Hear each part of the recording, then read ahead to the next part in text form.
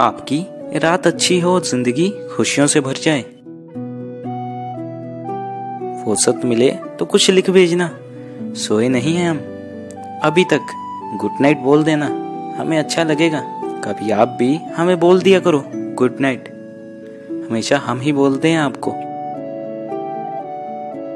माना कि आपका वक्त कीमती है, मगर दो पल बर्बाद कर लीजिए। यूँ तो कुछ नहीं है हम, फिर भी हमें कभी याद कर लीजिए। तोहफा नहीं भेज सकते, इसलिए दुआएँ भेज रहे हैं। खुद नहीं आ सकते, इसलिए महकती हवाएँ भेज रहे हैं। मुझे बहुत नींद आ रही है। अब आपको कल परेशान करेंगे।